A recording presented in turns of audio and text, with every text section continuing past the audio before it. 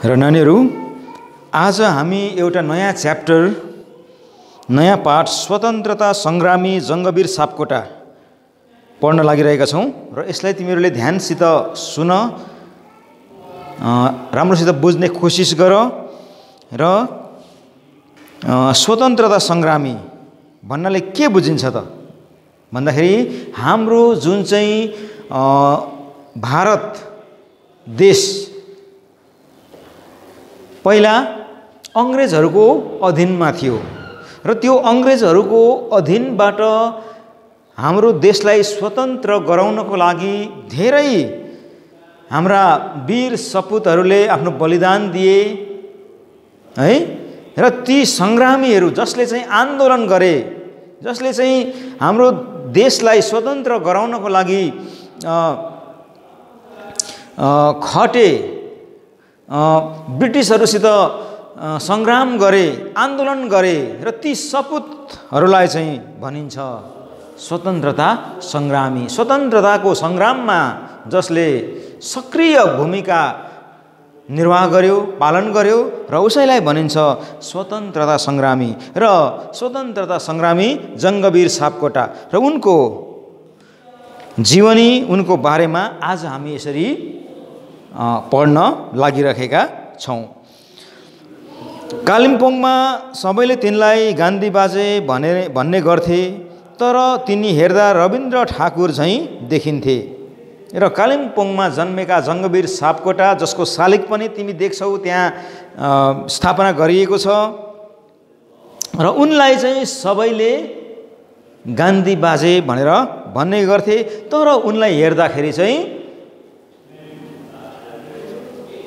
रविन्द्रनाथ ठाकुर जस्ता देखिन्थे। किनभने उनको दारी थियो लामो दारी पालेका थिए। त्यसले गर्दाखेरि गान्धी बाजे भने तापनि उनलाई हेर्दाखेरि चाहिँ रविन्द्रनाथ ठाकुर जस्तो देखिन्थ्यो। तिनी गठेला शरीरका धनी थिए। उनी हष्टपुष्ट एकदमै बलिया थिए। तिनको लामो अनि सेतो दारी थियो र उनको गालामा लामो अनि सेतो दारी थियो। तिनी खद्दर वस्त्र र टोपी गान्धी टोपी लगाउन नछोड्ने व्यक्ति थिए र तिनी खद्दर वस्त्र भनेको एकदम बाक्लो खालको वस्त्र लगाउँथे अनि टाउकोमा गान्धीले जस्तो एउटा गान्धी टोपी लगाउने लगाउन नछोड्ने व्यक्ति थिए। अर्थात् तिनी त्यो त्यस्तो पोसाक लगाउँथे। तिनी को हुन् त? तिनी हुन् स्वर्गीय जङ्गवीर सापकोटा र ती व्यक्ति हुन् स्वतन्त्रता सङ्ग्रामी जङ्गवीर सापकोटा। स्वर्गीय जङ्गवीर सापकोटा ज्यूको जन्म दार्जिलिङको धजे चिया कमानमा भएको थियो।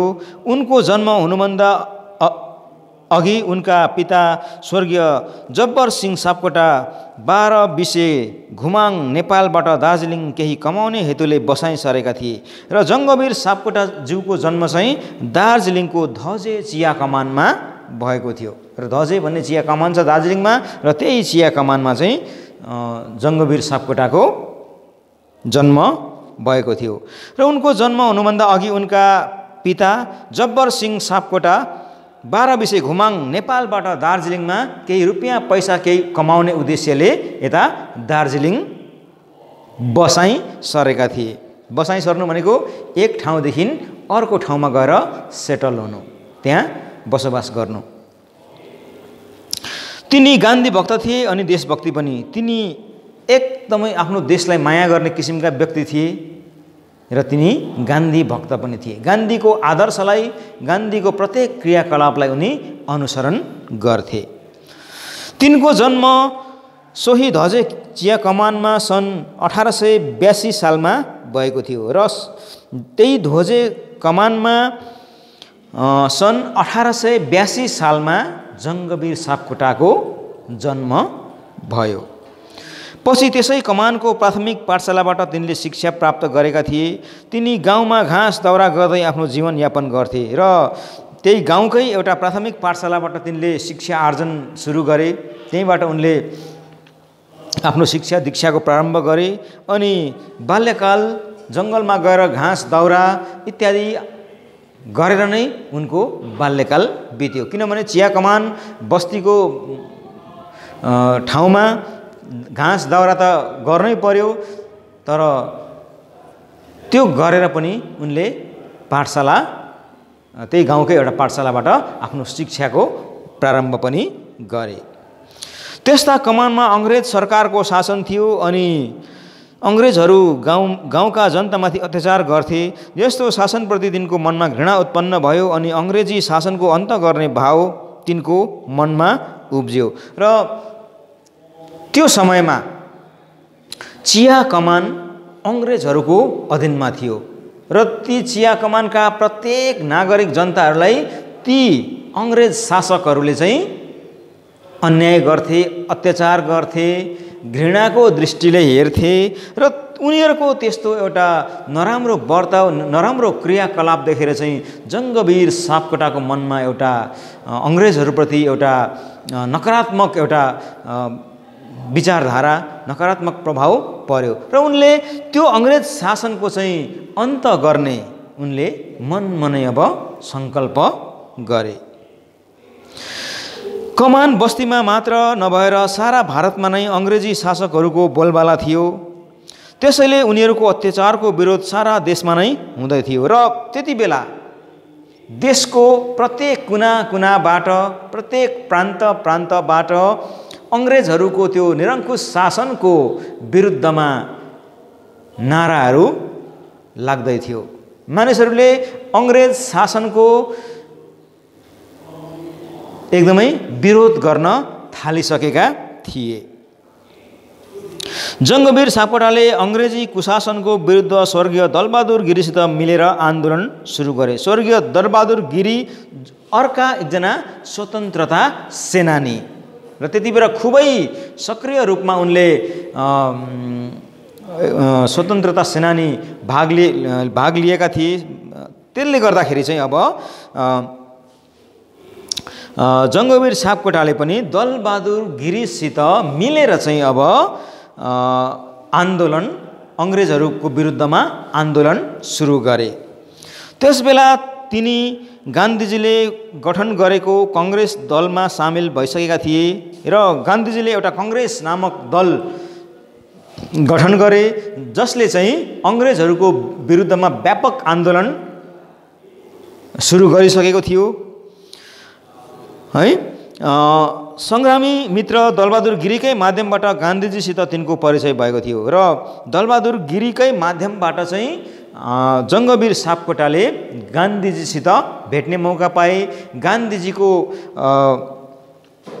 एउटा आन्दोलन उनको एउटा नयाँ दिशा निर्देश अनि एउटा नयाँ अब कसरी चाहिँ आन्दोलनको सूत्रपात गर्ने कसरी थाल्ने इत्यादि इत्यादि अब उनले गान्धीजीबाट ती कुराहरूको ज्ञान लिए अनि प्रेरणा पनि पाए।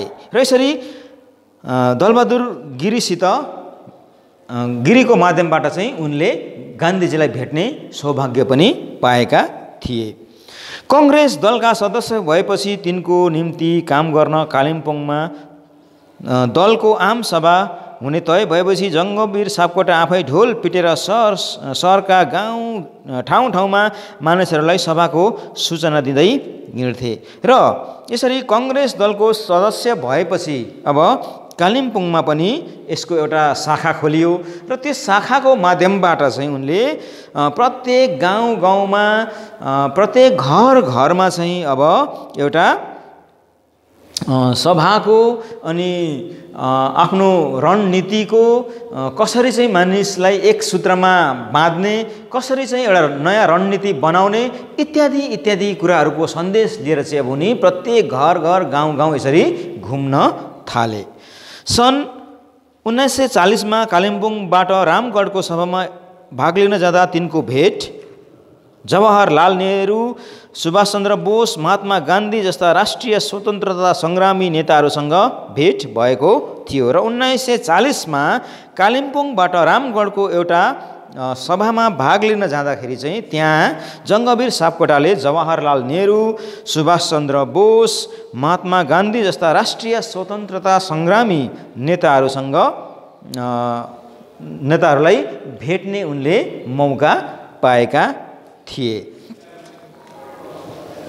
स्वतन्त्रता आन्दोलनलाई टेवा दिन गान्धीजीद्वारा थालिएको सन् उन्नाइस सय बयालिस सालको भारत छोडो आन्दोलनमा सापकोटाज्यूले दिलो ज्यान साथ भाग लिए र गान्धीजीद्वारा थालिएको सन् उन्नाइस सय बयालिसमा गरिएको भारत छोडो आन्दोलन।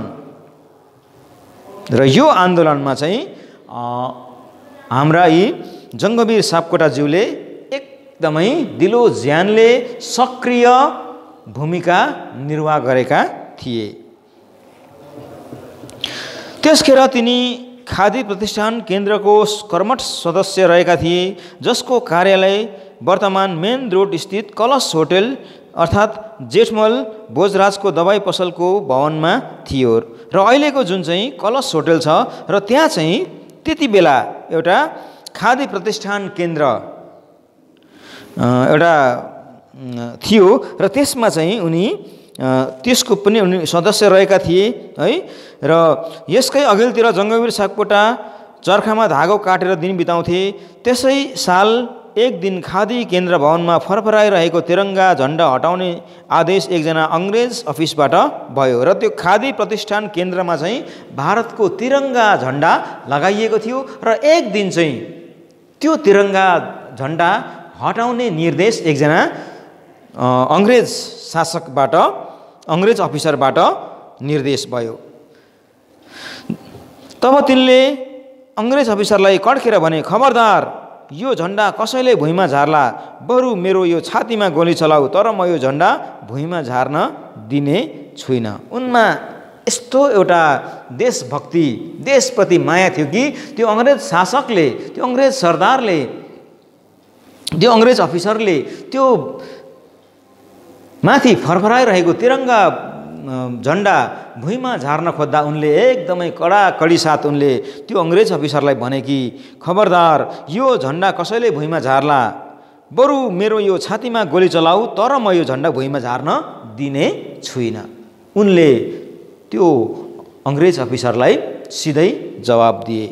त्यसै सालभित्रको कुरो गान्धीजीले थालेको भारत छोडो आन्दोलनमा भाग लिँदा अङ्ग्रेज सरकारले गान्धीजीसहित सापकोटाज्यूलाई पक्रा पारी जेलमा थुन्यो र गान्धीजीको नेतृत्वमा अगाडि बढिरहेको भारत छोडो आन्दोलनमा भाग लिँदाखेरि गान्धीजी सहित जङ्गवीर सापकोटालाई पनि अङ्ग्रेज सरकारले जेलमा थुन्यो। जेलमा तिनले पाउनसम्म दुःख पाए र जेलमा उनलाई अनेक शास्ति दिइयो भोक भोकै राखियो। अन्तमा केही दिनपछि तिनले रिहाई पाए र अन्त्यमा उनले जेलबाट रिहाई पाए। भनिन्छ तिनलाई कालिम्पोङ जेलबाट गाडीमा हाली अरू जेलमा लाँदै गर्दा थाना डाँडामा अङ्ग्रेज अफिसरकै मुखेन्जी वन्दे मातरमको नारा निरन्तर लगाएका थिए र कालिम्पोङ जेलबाट गाडीमा हालेर अरू जेलमा उनलाई लाँदै गर्दाखेरि पकडा परेको समयको कुरा हो। पकडा परेर जब उनी पकडा परे र कालिम्पोङ जेलबाट अन्य जेलमा उनलाई लाँदाखेरि गाडीमा नै अङ्ग्रेज अफिसरहरूको अङ्ग्रेज शासकहरूको अगाडि नै उनले वन्दे मातरमको नारा लगाएका थिए र यी जङ्गवीर सापकोटा यस्ता निडर अनि देशभक्ति एकजना सङ्ग्रामी थिए। तिनी अङ्ग्रेजी शासकको शासनको गुलामीबाट भारत स्वतन्त्र भएको हेर्न चाहन्थे। स्वतन्त्रता नै तिनको जीवनको धोको थियो र उनको जीवनमा एउटै धोको थियो आफ्नो भारत देश अङ्ग्रेजहरूको शासनबाट मुक्त भएको हेर्न चाहने। है? गान्धीजीको साथ लागेर गरिएको अथक आन्दोलनको फलस्वरूप पन्ध्र अगस्त उन्नाइस सय सैँतालिस सालको दिन अङ्ग्रेज शासनको क्रूर पन्जाबाट भारत स्वतन्त्र भएको देख्न पाए। यसमा तिनको मन रमाउनसम्म रमायो र यस सबै मिलेर यसरी आन्दोलन गरेको फलस्वरूप उन्नाइस सय सैँतालिस सालको पन्ध्र अगस्तको दिन अङ्ग्रेज शासनको क्रूर पन्जाबाट भारत देश स्वतन्त्र भयो। र सबैले एउटा नयाँ जीवन पाए जस्तो अनुभव गए गरिन्। सबैले एउटा शान्तिको सास फेरे सबैले मुक्ति पाए जस्तो एउटा अनुभव अनुभव भयो। र त्यसमा पनि विशेष जङ्गवीर सापकोटा रमाउनसम्म रमाए। यस पश्चात सापकोटाज्यू आफ्नै घर बोङ बस्तीमा गृहस्थी जीवन बिताउँदा बिताउँदै अठार जनवरी उन्नाइस सय चौसठको दिन बयासी वर्षको उमेरमा तिनको मृत्यु भयो र आफ्नै घर बम बस्तीमा थियो उनको र यसरी गृहस्थी जीवनमा बिताउँदै गृहस्थी जीवन बिताउँदा बिताउँदै अठार जनवरी उन्नाइस सय चौसठको दिन बयासी वर्षको उमेरमा जङ्गवीर सापकोटाको निधन भयो अर्थात् उनको मृत्यु भयो। तिनको यस दुःखद मृत्युमा कालिम्पोङका सारा जनता शोक सागरमा डुबे र यसरी अग्रज एकजना स्वतन्त्रता सङ्ग्रामीको मृत्यु हुँदाखेरि सम्पूर्ण कालेबुङ शोकमा डुब्यो।